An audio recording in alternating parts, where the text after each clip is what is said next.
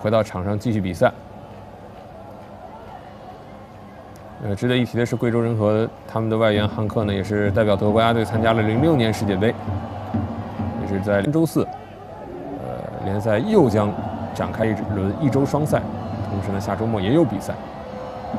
这对于球员们来说，哦，先看这一次头球，哇！上海申鑫队三名球员：亚伊尔顿、乌塔卡，呃，再加上二十一号刘俊南，这三名球员刚才在贵州仁和的禁区之内是连续形成了非常巧妙的配合。最后是乌塔卡的传球，呃，刘俊南的冲顶稍稍顶偏了。这个球如果两名球员的身份对调一下，刘俊南刘俊南来传，乌塔卡来顶的话，说不定会有更好一点的效果。不过乌塔卡这脚的传球已经是传的不错了。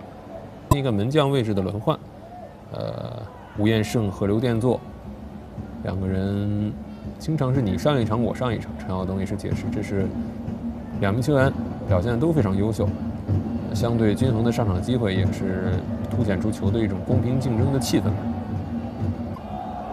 好，这次快发定位球，这个球没有越位，乌塔卡一个人面对对方四名防守队员，还是往禁区内抹，带球犹豫，那肯定就是给了对方防守队员最好的防守机会。这一次的，这个球看样子还是越位。我们看这个球传球的一瞬间。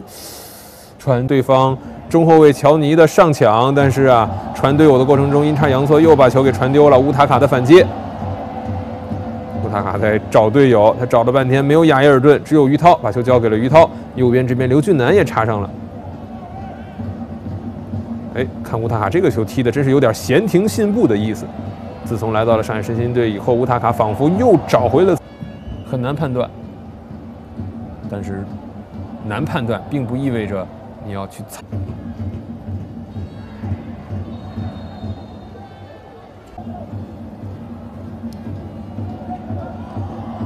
这个球找乌塔卡，乌塔卡把球停的不错，一摆脱选择自己的射门，哎，这个球没有踢啊！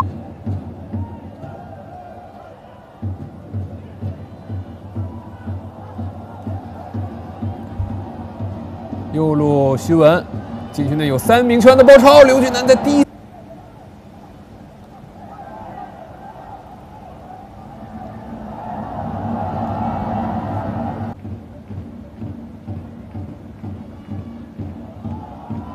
交给边路的乌塔卡，中间已经有三名球员的包抄，萨利抢到了第一点，但乌塔卡控制了第二点，再分给刘俊南，这个球传，比赛好像也逐渐朝着比较沉闷的走向发展了。